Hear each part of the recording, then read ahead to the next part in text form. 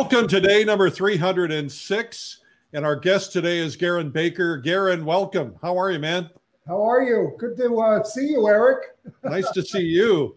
What, what are you going to do for us today? Uh, I'm going to do a master copy of a famous Ilya Repin painting. It's actually a, a head study portrait. A head study portrait of it's a Repin painting, a master copy. Yeah, master. It's actually a pretty famous one. So uh, I'm going to keep it a surprise. Everyone will recognize it when they see it, though. Uh, outstanding. Well, let's get right into it. I, I'm very excited about that. So, should I switch now? Yeah, sure. Let's do right, it. Sure. Give me one second. I'm going to switch. All right. So, so while Garin's doing that, uh, this is day number 306. I'm Eric Rhoads, publisher of Fine Art Connoisseur and Plein Air Magazine. We're here every day, in case you're seeing this for the first time, 306 days in a row, twice a day uh, at 12 noon on Facebook and YouTube and uh, Instagram and so on. Uh, just go to Facebook or YouTube, search Streamline Art Video. Uh, if you would follow me, please, Eric Rhoads at uh, Instagram, that would be very, very helpful. Okay, more on other stuff later, but let's get right to Garin Baker. Garin, take it away. Thank you, Eric. So today I'm going to do uh, Ilya Repin's uh, Mussorgsky portrait. I don't, this is actually a a photograph of Mussorgsky. He was a famous Russian composer. Uh, and um, I actually got the story from a good friend of mine, uh, Jim Gurney. Uh, he wrote a wonderful blog piece about this portrait. Uh, the actual uh, painting that Repin did is uh, this one. And there's Mussorgsky himself. Um, so Repin did this painting of Mussorgsky, obviously from life. I'm doing it from a nice photograph that I took uh, at the Tretyakov Gallery in Moscow. I've seen it in person, and oh, I want to. Yeah. I, I think the story is that he did that on his deathbed. Uh, well, he had four sittings set up. Mussorgsky sort of uh, was quite a drinker and uh, was mad at times, uh, you know, crazy at times, and he uh, ended up in a hospital. And um, and Mussorgsky, uh, Repin had uh, four sittings scheduled with him. He did three, and this is what he accomplished in three sittings. Uh, and then on the fourth sitting, he arrived to uh, continue and finish the painting. And Mussorgsky was no longer with us. So uh, that's, uh, that's the story I read from Jim Gurney's blog. And I think I'll go with it. All right. So, so um, looks like you're on a wooden pallet. And what yeah, you laid so, down some oil. What did you lay down? So I'm I've got a, a piece of uh, portrait linen, a Claessens 13 that I've taped to a board. I usually tape it to a rigid board and then I can store them or stretch them later or frame them or you do what I need. But most of them end up in my flat files for easier storage. Um, I have a beautiful cherry wood uh, palette. It's probably, I don't know, maybe maybe 30 inch, uh, 32 inches long by maybe uh, 20, 20 or so inches wide. It's a beautiful block of cherry wood that I have on a rolling taboret around my studio. Uh, my shelf of colors that I've been building up over the years um, go from white to black, a series of warms, my neutrals being my uh, two browns, and then my cools. And basically, uh, I'm really interested in the understanding of light. And so, just to jump right in, because, you know, Eric, we only got about uh, what, 40 minutes or so. yeah, 40, 45 minutes or so. so basically, I'm going to approach this as though uh, this uh, great Russian composer is sitting in front of me. Are you going to do a copy of the master portrait or are you going to do a yes. copy of the photograph? No, I'm going to, what you're seeing now is a Repin's painting of Mussorgsky, and I'm going to do a, uh, you know, my rendition of it. I really, you know, Repin is a high mark. so yeah, really, that's tough. Oh, well, I, and I'm so happy you're going to send it to me when it's done. well, you know, we'll see. But uh, I'm going to do uh, looking at big shapes and uh, jump right in. I'm a pretty quick painter, but uh, an hour or less is a pretty good challenge. So yeah, it sure we'll is. What, we'll see what we get done. Repin had uh, you know, three or four, three sittings with him.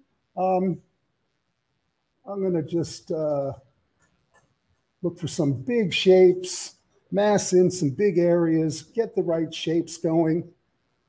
understanding. Um, one of the things I do a lot with my students at the Art Students League is to really, especially when dealing with the head, you know, portraits, it's really important to get a sense of the skull, you know, understanding where the cheekbones are and the axis of the roundness of the oval, the cranium of the skull. Very important. The axis of the tilt of the head, the axis of the cheekbones, the eye sockets. Really trying to understand what's happening structurally underneath. No outlines, just really trying to see some big shapes.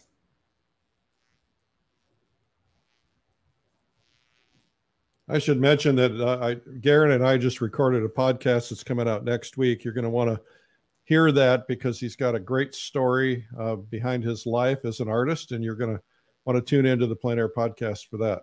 That was yes, great. he is also a plein air painter. that was great fun, Eric. That was really wonderful. Actually, we we uh, we in, ended up uh, conversing longer than the podcast was able to. Yeah, that was fun. So, so now it, you're mixing a green for what what purpose? Well, I'm here? looking at the shadows. You know, they look rather warm, but actually, I'm thinking that there's a lot more cool in them. So I'm starting with the cool end of my palette. You know, the blues, cobalt blue, maybe a little cerulean blue, but obviously that's too rich. So I want to knock it down. I want to go more towards the grays, more towards the neutrals. So I mix, obviously, complementary color, opposite on the color wheel, for all of you who are familiar with that. And that's going to sort of knock it down for me, give me a more grayer, greener gray tone. And if it goes too green, I'm going to grab maybe a little bit of red warm it up just a slight. But what I'm looking for are these neutrals. And in a big way, I'm just going to start massing in, not worrying about detail or features, just looking at those big shadow areas. Looks like you've changed to a big brush. Oh, yeah, big brush. The real workhorse. You I should mention to you guys that if you leave comments, we're uh, giving away prizes for comments. Today's prize is a pair of value specs that help you see values. And uh, the winner of my book from the last broadcast is Mary Beatles from Georgia. Congrats, Mary.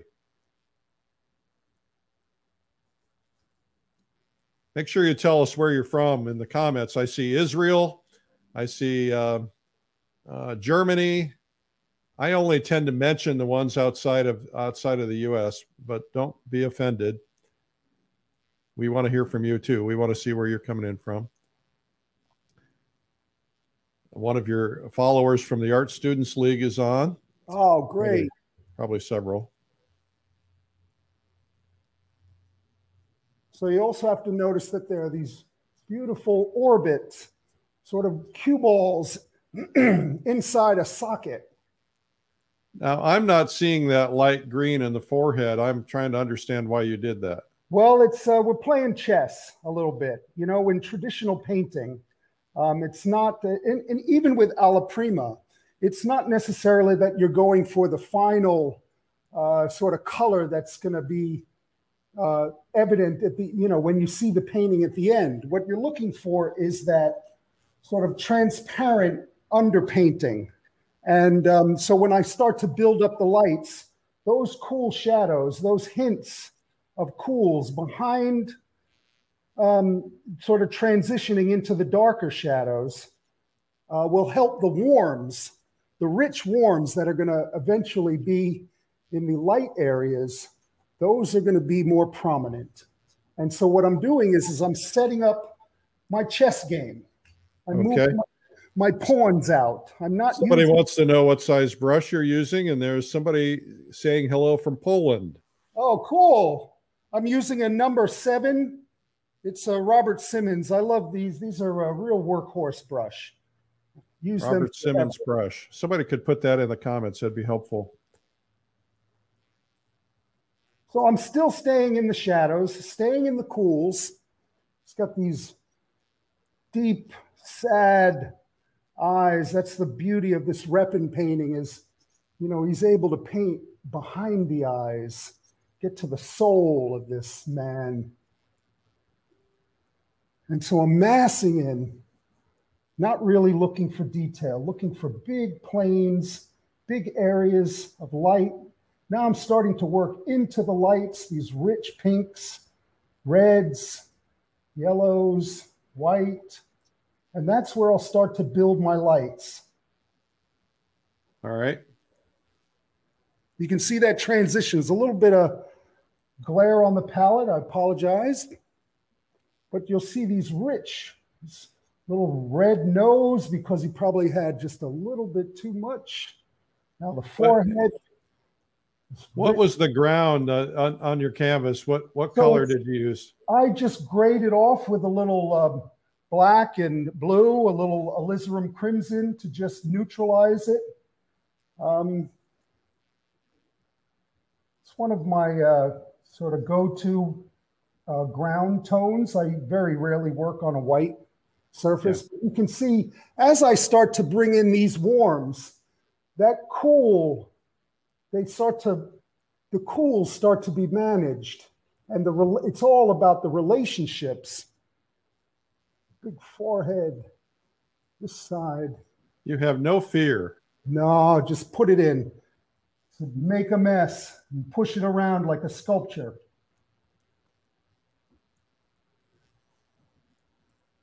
What are your whites? You've got looks like three whites. Well, I've got no, I've got a Naples yellow deep.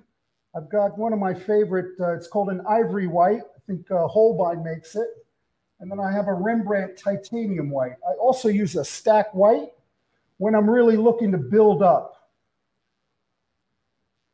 What is the why do you use the ivory white?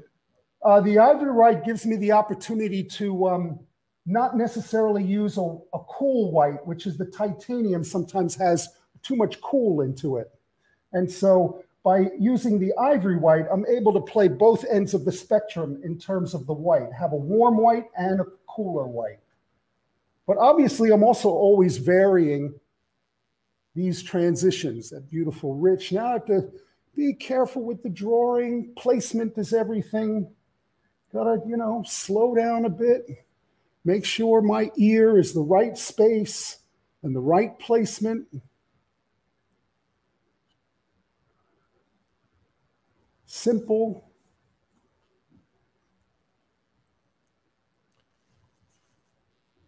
Turn the form, always turning the form. Now I'm to have to block in some of this larger area of the darks because it's through the darks that you actually read the lights. You know, it's interesting. Those greens don't look so green anymore when you, no, you no. warm colors in there. Absolutely not. It's all about relationships. So now these darks in here, all these darks and this crazy hair, you know, he looks like he just woke up at a out of a stupor.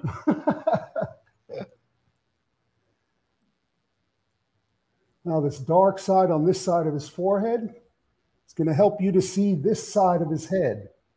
So it's all relationships. That's what Repin was so, so brilliant at, building all these relationships. Drawing, his beard, his muzzle under the nose, not focusing so much on the lips, but focusing on the muscle and the bone structure underneath.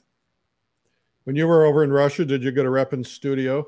Oh yeah, yeah, it's incredible. We're going to take our group there in September. It's pretty. Yeah, we're going to be paint, we're going to paint on the grounds of the studio too.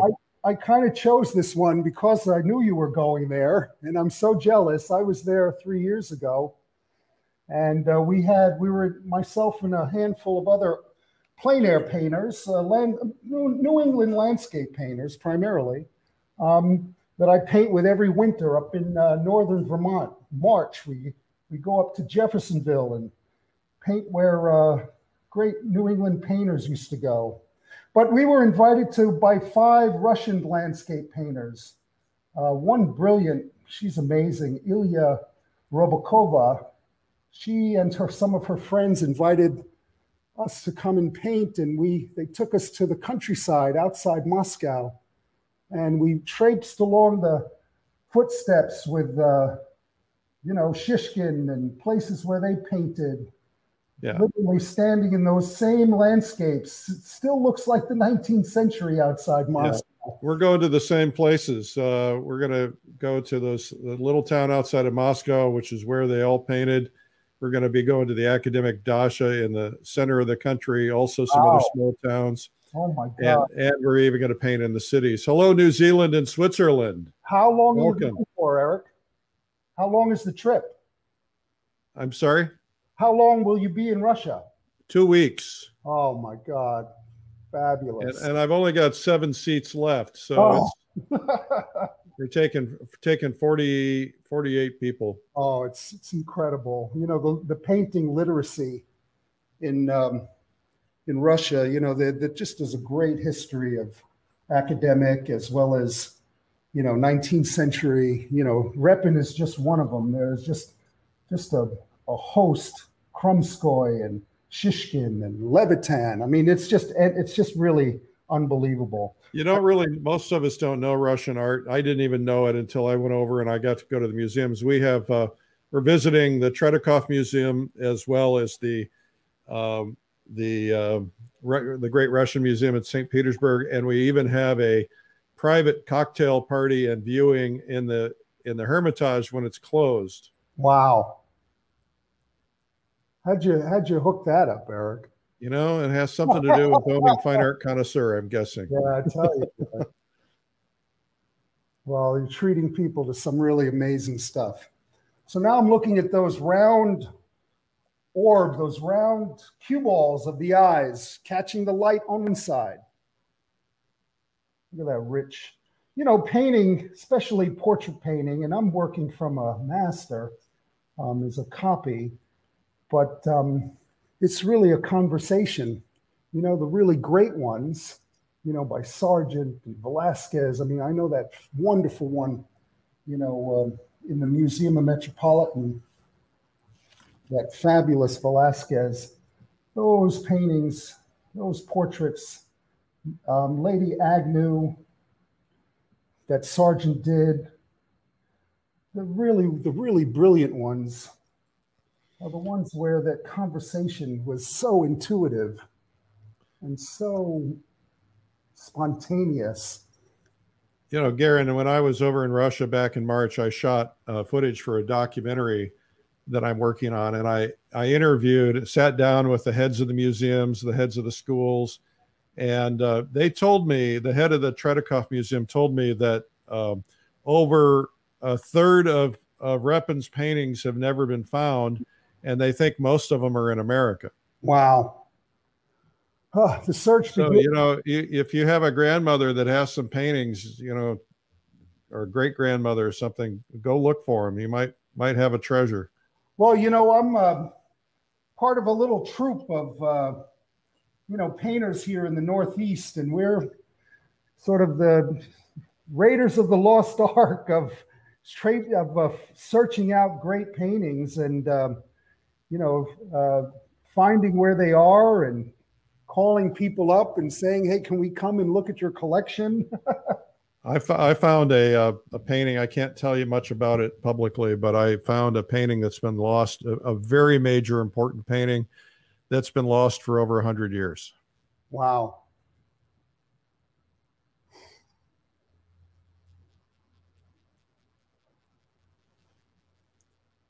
It's amazing how quickly this is coming together.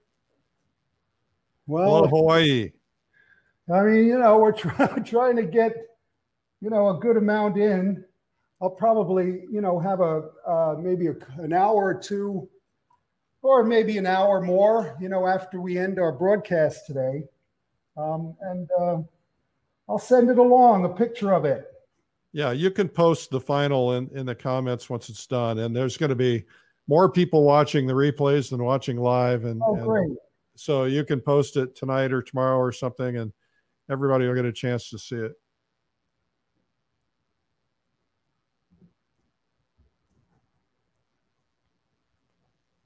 Amazing how the form is coming together already. So now we're going to start pulling this head into space. by using some of these lighter, cool grays behind his head. What do you mean pull it into space? What's that mean? Well, I mean, well, I'll do it. You'll see what I mean. The, uh, okay. the light behind his head. Oh, background. So it's these relationships again that Repin was just a real master of. I mean, when you see his, you know, ambitious, large compositions, just pulling these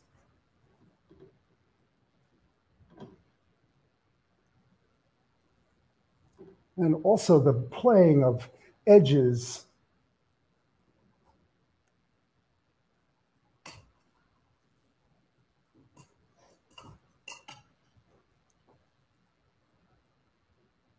It's a conversation. It talks to you. And you respond and it says again what it needs. And you respond again.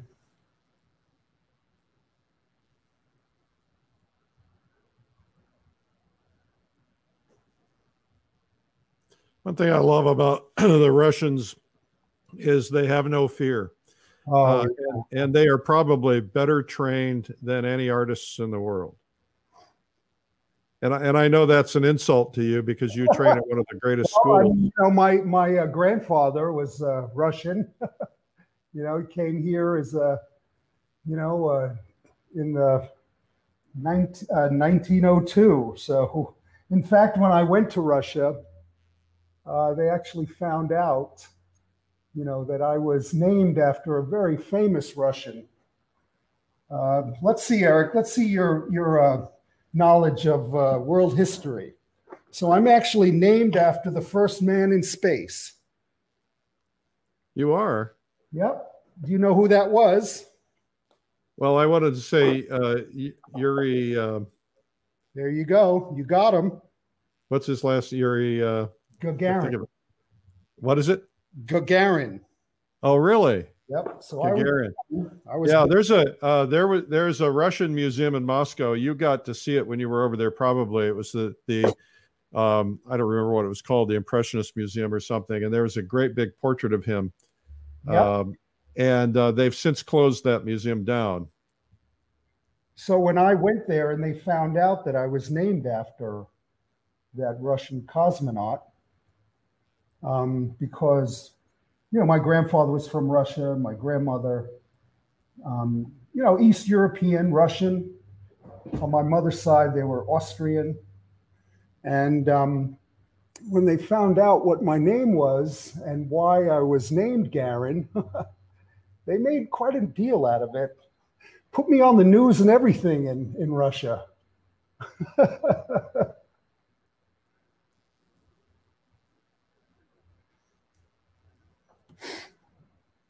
I think anybody has a chance to study with Garin at the Art Students League or privately or otherwise should do it. I mean, look at this. Amazing. Well, my class at the league, I've been teaching there a few years, and um, you know, the league is one of those great American art institutions. It's been around since 1885. You name it, who's in American art, going back to William Merritt Chase and Robert Henri and George Bridgman, Norman Rockwell, Jackson Pollock. I mean, I can go on and on. And uh, they have an amazing sort of um, faculty now. Uh, Max Ginsburg teaches there. Uh, Ricky Mujica, I teach there. Dan Thompson teaches drawing there. If anyone knows Dan Thompson's work, uh, there's just a uh, just an incredible, incredible faculty. Well, the fact that you're on that faculty is pretty amazing. Oh. you know, that means you're one of the better artists in in in in America and in New York. Well, it's not an easy thing getting on there, but um, um, you know, with COVID now, we're doing all of our all of our classes online. Actually, they've done a lot of renovations to get the school ready for when we all, you know, can get back in there. Um, and so now, and actually, me and um, a handful of other instructors were really experimenting early on with how to do um, you know, high quality Zoom classes with demos like this. I'm able to paint along with my students and draw along with the students.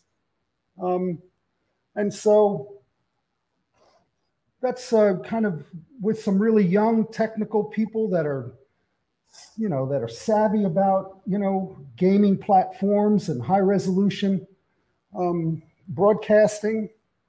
You know i've set up a little bit of with a little bit of help in my studio to kind of know how to learn how to do this. This uh, sort of split screen. It's kind of a, a new a brave new world we're all in for a little bit. Yeah. So i've learned quite a bit Oh, it's beautiful, rich color. So I'm just massing in, just massing it in. His beard's going to come down there.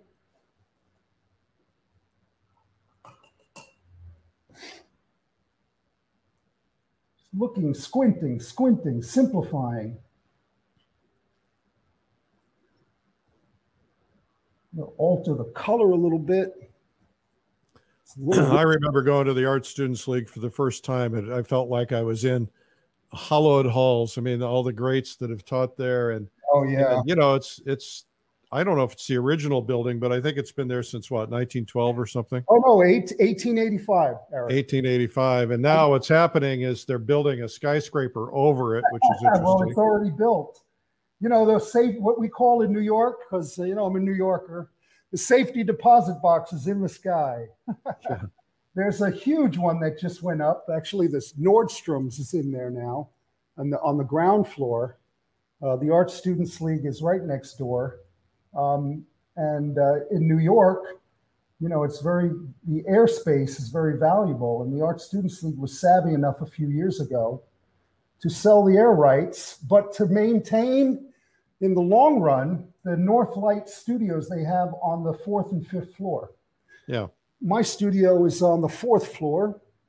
Uh, the coveted Studio Seven, which is where all the you know masters of representational painting to the 19th century taught. Studio Seven is a is a kind of a you know it's coveted, and uh, so all of those, all of that North Light uh, just like I have in my studio here. I built into this old post and beam barn. And if we get a chance uh, towards the end, we're going to show your studio. Well, you give me, I mean, on my website, people are curious now. Um, they can go to my website and under on the um, menu, there's a there's a heading called studio. I have some great photos, great images of my studio. I've taken this 1790 property um, old stone house, big carriage house, post and beam barn. Over the years, renovated it.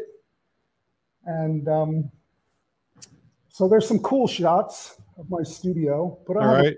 I put your website up at garinbaker.com. Oh, thanks, Eric. It's on the screen. So now we're going to find the center of his eyes, the center of that ball.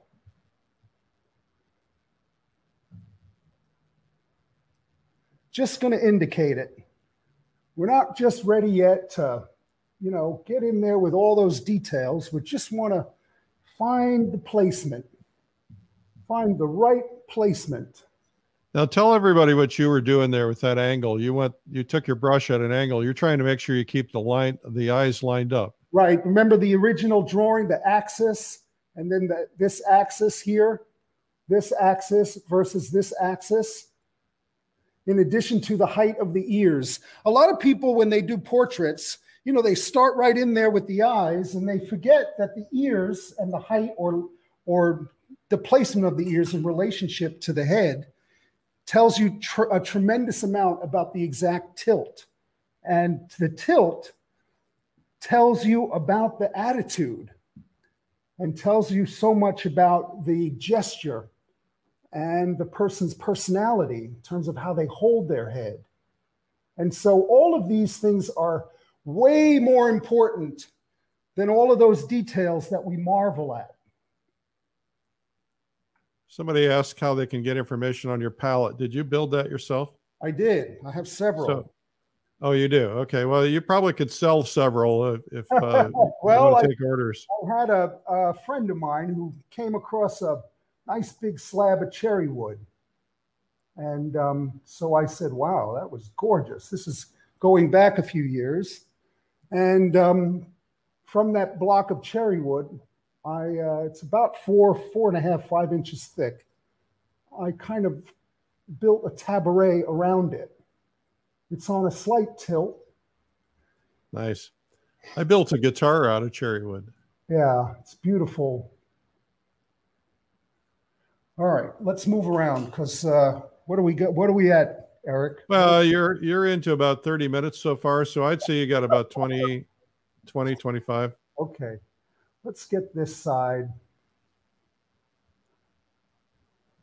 I love these lost brushstrokes. Boy, Repin was really, really quite adept at that, creating the character and personality of his sort of goatee here with the most effortless brushstrokes. Oh, that's not an easy task. Catching the undershadow part, this here, the warmth of his lips kind of pursed through.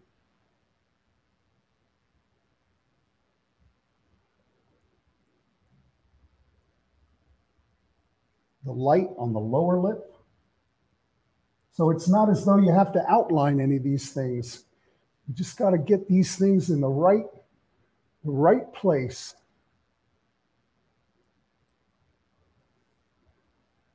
Remember, you guys, if you leave comments, uh, we're giving away today a pair of value specs for. Uh, uh, we're going to pick from the comments, uh, both in the replay and the live. And so make sure you leave a comment. Also, if you're from outside the country, please say where you're from. Um, and anyway, everybody, we'd like to know where you're from. So it's nice to see where people are from. And if you would, if you're enjoying this and you think other people might enjoy it, go ahead and hit the share button. Uh, and definitely give Garin some positives with a like or a heart or a smile or something. That'd be nice. You can go to his website, GarinBaker.com, to see his studio. We'll try at the end if we have time to show a little of it.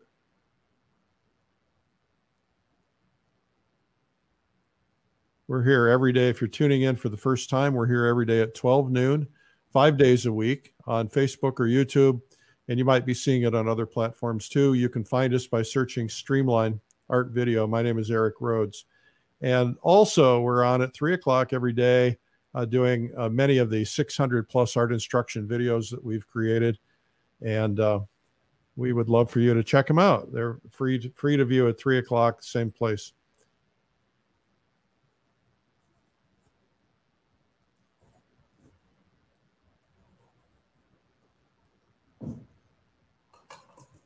So everything, Garin, starts with a foundation. Oh yeah. You start with the form and the foundation. You don't start with the detail. And you know, I think a lot of people, if they were looking at this and copying this, the, the first place they would do is start by, you know, getting all that detail in early on. But if you well, don't get that foundation in, the detail just doesn't work. Yeah, you gotta you you sort of have to find uh, the volume of it first. You know, the the sense of it being an object, you know, a, a, a round skull, a round kind of bowling ball, for you know, for instance, in space, and that happens by that kind of earlier, that earlier block-in work, and then once you're able to find that, then you can start sculpting it and pushing things in their proper relationship. Um, it's uh, it's a it's a challenge always. It's not something that um, you know uh, you can guarantee at every turn. But the more you play with it, the more you move it around, the more you find the shapes and the spaces. Then when you put a piece of detail in, like a highlight, it feels voluminous. It feels like it takes up real space.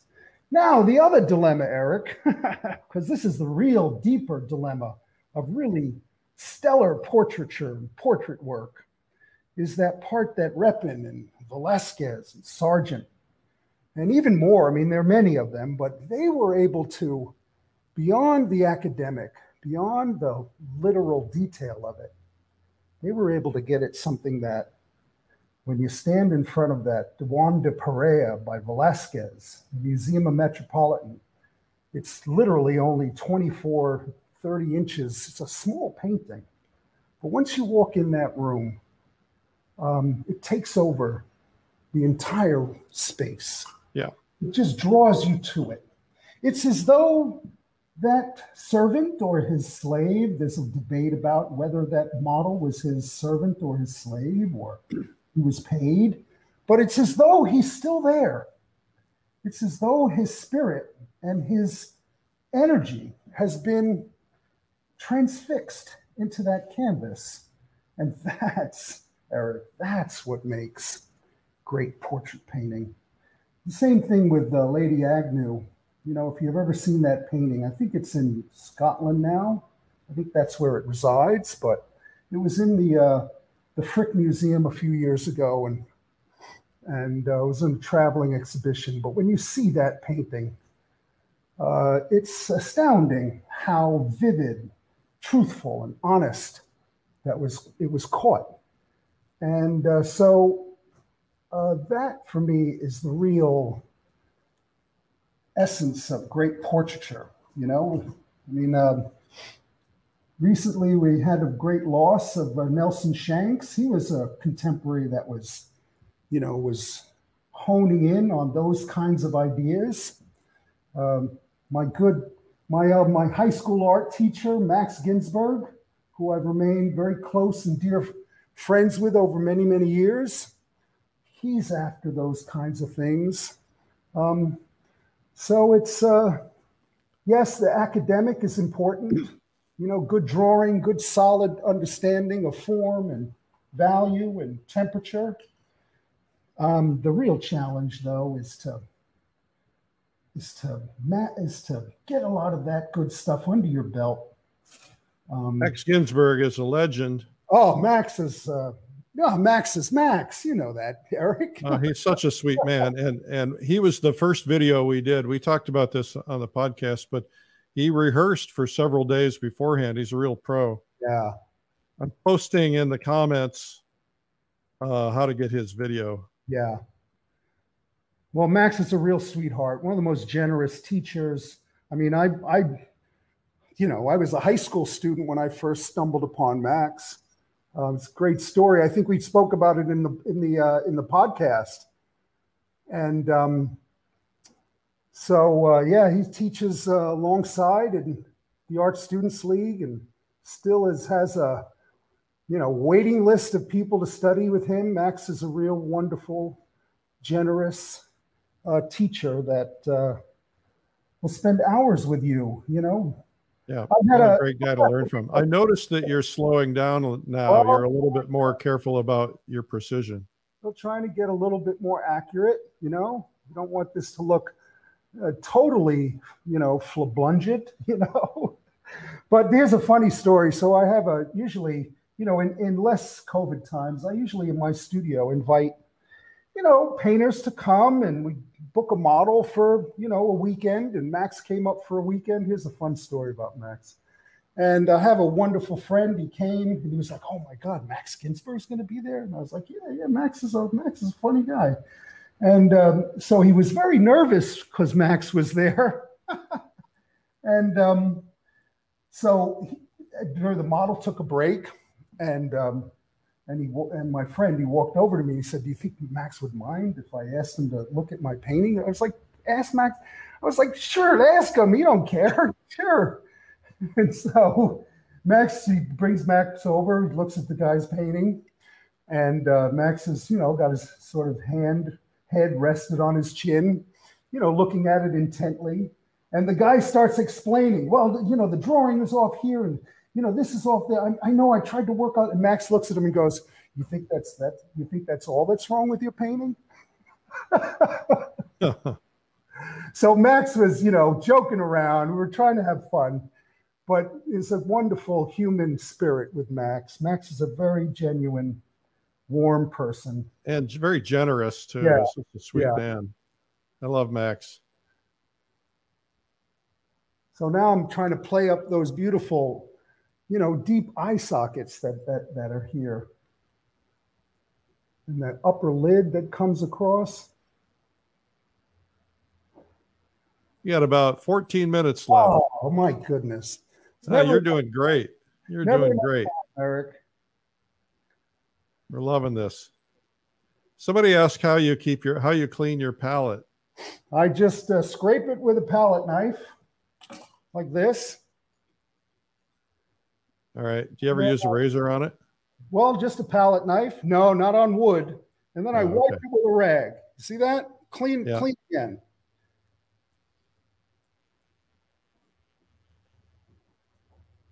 Let's get this beautiful kind of real. Hello, Sweden. Nice Russian. to have you here today. Sweden? Yep. Wow, that's great. We have a lot of we have a lot of people in Sweden, um, Israel, Egypt, Saudi Arabia, um, all throughout Europe, Japan. Once in a once in a while, we get somebody else in Asia. I haven't seen uh, Japan is mostly. I have a I have a student from Japan now that the Art Students League did their, you know, online, you know, with their uh, classes online. You know, Norway kind of limited to um, students within the tri-state area. You know, New York, New Jersey, Connecticut. Um, but now we have students from everywhere. I know it's really wonderful. I mean, we're all learning that, that. I mean, this this show has got people in well, Watercolor Live, which starts this week. Have people in 39 countries. We have almost 1,700 people signed up. Wow. Amazing. I mean, it's uh, the ability to touch so many lives. So wonderful. Yeah, yeah, it's really incredible. Especially, you know, art. You know, it's really, you know. So you never let the paint dry on your palette, obviously. No, not in the mixing area. That's why the shelf of colors is built up you know, I'm constantly scraping it down. Is I don't know, a good friend of mine, you know, we were in high school together. He was a couple of years older than me, Steve. Have you ever seen his palette? Steve Assael's palette? It's built up about this high. oh, yeah. In fact, sometimes there's hardly any room on it. He just mixes right on the surface of the canvas.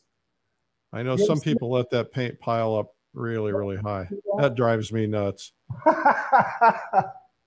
Hello, Italy. Hello, Norway. Hello, South Africa. See, when I start mentioning it, all of a sudden people start, Netherlands, they start saying, okay, I'm going to speak up. We like that. Thank you. Yeah, that's great. Somebody who's never made a comment before, we're looking for you from today. Hello, Spain. Outstanding.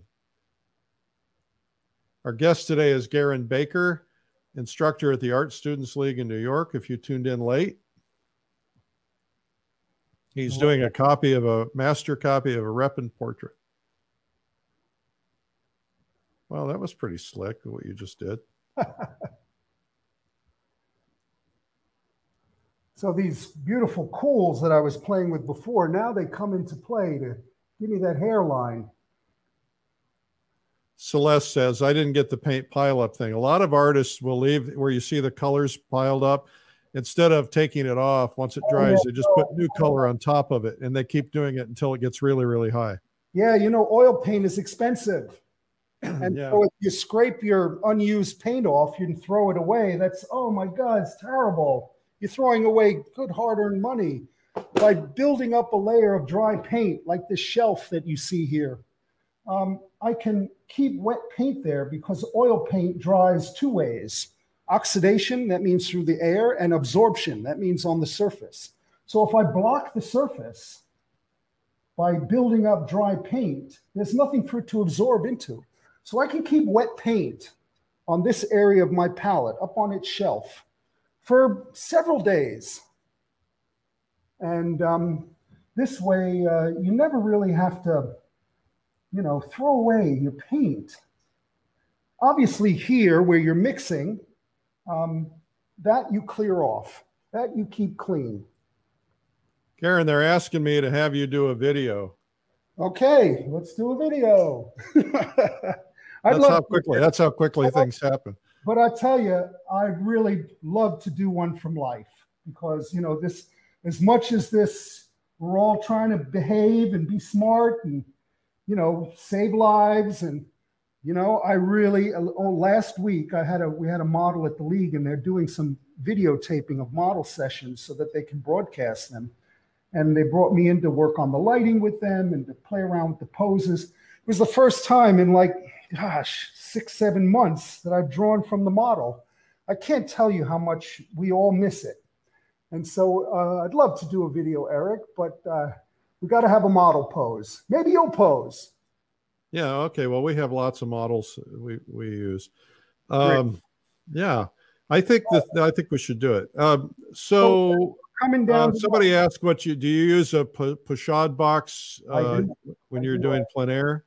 I do. I have three or four different sizes, uh, and we're probably coming, you know, to our time. We're probably about under six or seven minutes, right, Eric? Yeah, about six minutes. So let me just uh, play around with a couple of spots. I'll stop talking. And then I'll turn my camera and sort of pan through my studio. That might be fun. Now, this I'm, I'm rushing this a little bit. I would much prefer to spend more time, and I will. But this gives you an idea. It was fun. Yeah, that's pretty. That's actually very beautiful, just as it is. It wouldn't need to be finished. Oh, thank you, Eric. I appreciate that. Oh, there's so much wonderful work he did here. He'd had more than an hour, though. Gosh darn it. All right, Eric. Well, that's why these videos are so important. I mean, can you imagine if we had a video of Repin painting? Oh my God! And uh, and and guys like you, you know, 200 years from now, people are gonna. I, I know you're still going to be around, but uh, it would be nice, you know, for people to have it. And and I, I, think what people don't understand is how special it is to be able to have that in their homes and to oh, be able yeah. to to capture, you know, 30 or 40 years worth of painting expertise. Well, instead of me fiddling around, why don't I show them a little bit uh, of my studio? Just pan my other camera around. All right, great. All right, great. I'm going to switch windows here. Okay. There we go. All right, you guys. First off, round of applause, thumbs up, and applause for for Garin Baker. Thanks so All much. All right, that was okay. Fun. Let's do the studio. All right, so uh, let let me take the camera out of here. Sorry about my hand. I can flip the. Uh... there we go. Well, it's going to be a little shaky. yeah. Okay. We can we can handle it. Oh, I'm getting seasick. There's a few paintings in progress. All right. Wow. And that's a, a cityscape, sort of late in the afternoon. Here's a. If you guys listen to the podcast, uh, comes out next week, I think uh, that I did with Garin. You'll hear about the stories about plein air painting in the streets in New York. Oh yeah, that's awesome. This one is. Called, I can smell the fish in that painting. this is called salting the herring. I go, uh, my wife and I, we try to get to the coast of Maine every year for a couple of weeks. And this was done actually from an iPad, a series of iPad movies that I took. Cool. Uh, is this uh, a sketch for a larger composition that I'm working on? Uh huh. Called uh, His Address. There's the block in for the painting. Nice. There's a couple of head studies. Whoops. Uh oh, I'm losing you. No, we're here. Oh, great. Sorry. well, you froze up for a second there. Okay. Well, there he. There we oh. go. And I'll just okay. pan around. I'm sorry about the shakiness of it. All right. So here's an old post and beam barn. Beautiful. And a hallway to the carriage house. And I'll just walk over here. All right. There's a couple of paintings on an easel over there. Here's the setup that I have to, for today. My uh, laptop, big monitor, camera that you guys were watching me on, my taboret that rolls around my studio, the study I just did, my great sort of wonderful Hughes easel, which is awesome. Northern skylight that I cut into the hip roof of the barn. Now, what angle is that light at? Uh, it's a 45. Yeah, it's a hip roof. The, uh, okay. of the barn, we basically just cut out and created a hip roof. And uh, I'll just switch this around. And there we have it. All right. Well, that's terrific. Let me see if I can get us both on here again. There we go. All right. Let me. Aaron, just... we can't see your face, but we will in a second. All right. There we go. That's better. All right. Now you're going to have to get down low. Yep. there, there we go. Well, Garin, you did a fantastic job. Thank you so much for being with us today on the show with no name. And, uh, well, thanks, Eric. It was a lot of fun. Um, sorry I butchered a Repin, but uh, maybe I'll put another uh, 20 minutes you, or an hour into it. You did not butcher anything. That was fabulous. Everybody give him hearts and applause and thumbs up. All right, Garin, uh, hang with me. I'm going to come back and, and talk to okay. you after I get off the air. Okay. All right. Garin Baker, our guest today, and you can find him at garinbaker.com. Don't go away. Uh, I just want to tell you a couple of things. Uh, if you want to find all the videos, if you're new to us, we've got 306 days of videos there, times two, my 12 noon and the 3 p.m. Just go to YouTube and, and hit, look for search Streamline Art Video and subscribe, and you can find them all there. All right. Um, if you're a watercolorist, make sure you check out American Watercolor Magazine. It's our online magazine. You subscribe free. Just go to AmericanWatercolor.net slash subscribe. We love having you guys here. The purpose of this is to keep you focused on something that you love or you want to learn about because uh, we know this has been a tough year, a tough last 12 months uh, or almost 12 months. And we've been here 306 days for you because we just want to keep lifting your spirits, keep your head in the game. Uh, remember that stress is not a good thing. And so we're trying to get you away from your stress. It's so easy to be doom scrolling and to buy into all the the news problems and everything else. So we're just we art changes hearts and changes the world. We want you to learn about art. We have been very fortunate because we've had hundreds of people from around the world tell us they picked up a brush for the first time after watching these segments. We've had hundreds who have um, told us that they hadn't picked up a brush in you know 10 years 20 years 30 years 40 years 50 years etc and they've started painting again. So we're really happy about that. We're going to continue to be here as long as we need to be here for you. And thank you for tuning in. My name is eric rhoads publisher of fine art connoisseur and plein air magazine and we would love for you to subscribe to those. Just google them or go to pleinairmagazine.com or fineartconnoisseur.com if you can spell connoisseur you're lucky. It took me a while to figure that out. Have a terrific day. Thanks again to Garin Baker and go to his website, garinbaker.com.